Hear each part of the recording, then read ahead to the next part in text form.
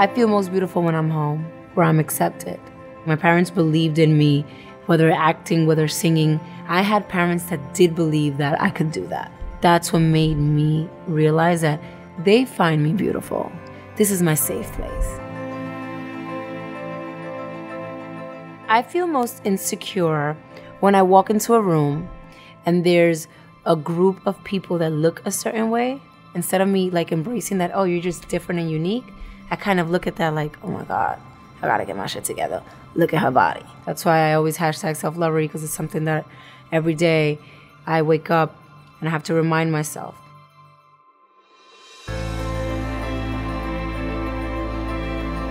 For me, makeup is enhancing the things you love about your beauty. I don't think it should be a mask to cover it.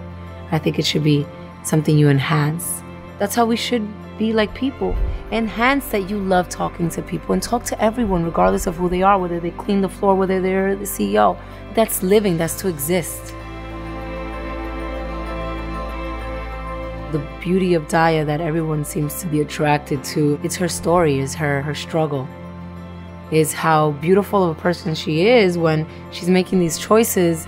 She's a victim of her circumstances.